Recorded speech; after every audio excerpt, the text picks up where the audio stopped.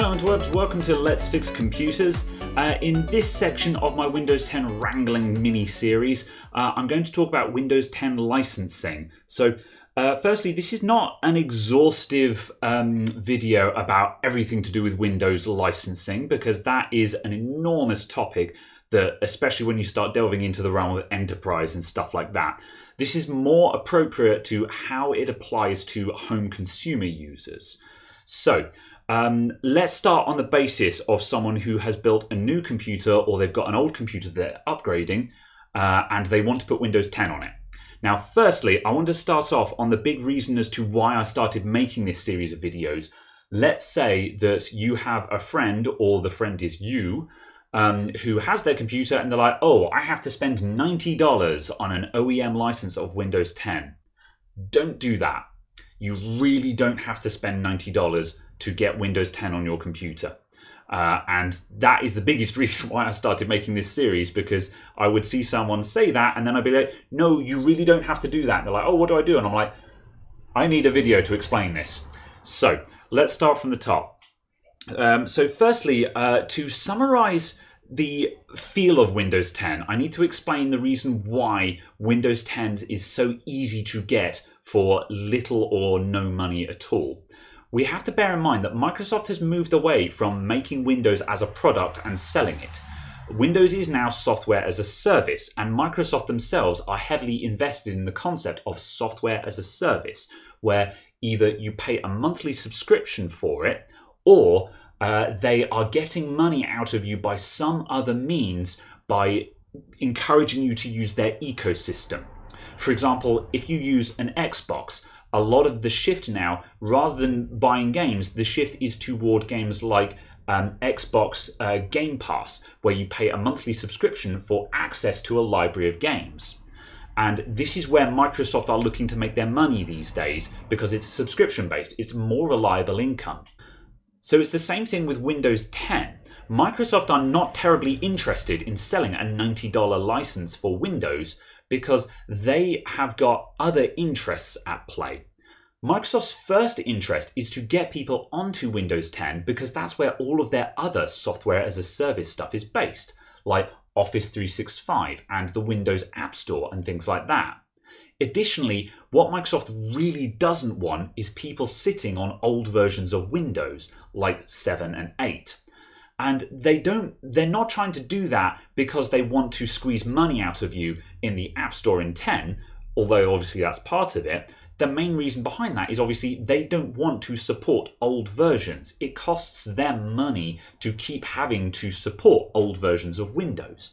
Just look at windows xp that was the operating system that just refused to die no matter how old and decrepit it got. Microsoft really doesn't want a repeat of that with Windows 7, which again is why there's a big push to get everyone off of 7 and onto Windows 10. So, first of all, uh, if you want to have a legitimate copy of Windows 10, your first objective is to get it installed on your computer. You can download and install Windows 10 completely free of charge from the Microsoft website. No piracy, no funny business. That's exactly what I've been explaining in the other videos of this series. How to download Windows 10 free and legitimately from, from Microsoft and install it on your computer. This will put you in typically an unactivated state. Now, the disadvantage of being unactivated is that you can't personalize your computer. So you can't change your desktop background, you can't select what icons appear, uh, you know, personalization, things like that. And you have a little nag screen in the bottom right corner of the screen that says, this version of Windows is not activated. That's it. There's no other restrictions in place. So if you want to, you can just sit and use unactivated Windows and there's no penalty for that whatsoever at all. Uh, and if you really want to, there are little means and ways of hiding that little nag screen. However, you're starting to jump through hoops here. There are easy ways to solve this you can activate Windows 10 with a Windows 7 product key because Windows 10 is a free upgrade from Windows 7. So if you've got an old computer with a Windows 7 product key on it, let me go find one for you actually. So here's a random laptop and in the battery bay it's got a Windows 7 product key on that. I'll give you a close up of that.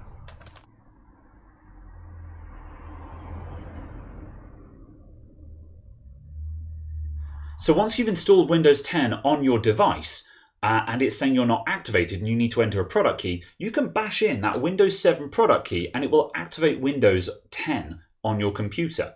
And that is part of the Windows 7 upgrade entitlement. And once you do that, the, the computer's hardware ID, which is a random number generated from all the hardware in the computer, is permanently activated. So if you were to wipe it and then reinstall Windows 10 again, Windows 10 will automatically be reactivated because the Microsoft servers will say, yes, we recognize this computer. That has a digital entitlement on it. However, if you change large amounts of the hardware in the computer, not so applicable with a laptop, but definitely applicable with a compute with a desktop computer, you may become unactivated again. Generally speaking, this will happen if you change the motherboard, because the motherboard is like 70% of the hardware in the computer. So that's the first easy way that you can get Windows 10 for basically free, is to dig around for an old Windows 7 product key and smash that in. And that'll get you activated. I actually collect Windows 7 product keys on any old computers that I'm recycling because they're not going to need it anymore, and I can use that product key to activate Windows 10 on my newer computers. Every time I throw out the computer, I take a picture of the product key on my phone, and I've got a little I've got a little library of product keys. And once I've activated one, I delete that picture because I've used that key. So the other way of doing this, which a lot of people talk about, is if you have a look on places like Amazon, you can often find suspiciously cheap product keys. And a lot of people will say, oh, what are those product keys then? Now, in all probability, nine times out of 10, these are what are known as TechNet keys. Now, I'm going to refer to these as grey market keys because they are actual activation keys and you can use them, and 9 out of 10 times they work. However, TechNet keys are not supposed to be sold separately. They're designed for developers who are testing software on lots of computers, and they need lots of software for testing with. Uh, so the reason why these keys are kind of shady is that they're not supposed to be sold separately. It's like buying a multi-pack can of, uh, you know, a 24-pack tray of Coke cans and selling them separately at an event. You're not supposed to do that. That's not allowed. And it's the same deal here. However, once again, once your product has been activated, the key doesn't matter anymore because the activation is stored with the Microsoft activation servers. So you only need that key to work once. So make of that what you will. Then the other condition in which you may be entitled to free Windows 10 is if you're working on a computer that was supplied with Windows 8. Now, with Windows 7, as you saw on the laptop there, we had a product key sticker on the bottom. When Windows 8 rolled around, they stopped doing that. They didn't put product key stickers on the bottom anymore. The product key was encoded in the computer's BIOS. And when you install Windows 10, it will actually check the BIOS of the computer to see if there's a Windows license stored there. And if it finds a Windows 8 license, it will automatically install the relevant version of Windows 10. So if it finds, for example, a Windows 8 Professional license, it'll install Windows 10 Professional. And likewise, Home Premium, it'll install Home. And once it gets to Windows, it will automatically be activated based on that Windows license that was saved in the BIOS. So again, if you've got a Windows 8 laptop, you probably work, you can probably do a clean install of Windows 10 and never needed any product key at all. And finally, as I mentioned, once a computer has had Windows 10 installed and activated on it once, it will hold that activation. So even if you wipe the computer clean and reinstall Windows, you will still be activated because Microsoft will recognize it as a previously activated computer.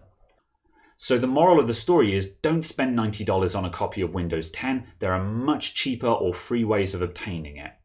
And if you think that it seems kind of weird and like, why would Microsoft allow this to happen? Well, you have to keep in mind that the number of people who are installing Windows manually, like, you know, people who are building their own PCs or home users that are upgrading their own computers, they fall under a huge minority the vast majority of Windows licenses that Microsoft sell are in the OEM space. So that means all the computers that are being sold down at the local big box store, all the compute, all the brand new computers that are being sold on the internet, brand new Dell computers, HP computers, all those other brands, and also um, if you're in the business space, you know all of the computers that are being sold to a business. If you've got an office block with a thousand office computers in it that are all being used by staff, that's a thousand Office licenses that Microsoft sold to that particular company. They will have a more advanced licensing deal on that. But the point is, Microsoft are making their money on Windows through all of that space, and they're making a hell of a lot more money in that space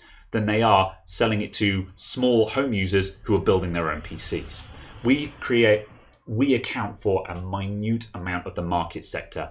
And that's why Microsoft allows all these little loopholes like activating Windows 10 with Windows 7 product keys. Because as far as they're concerned, it's one more person on Windows 10 who was previously using an operating system they want dead.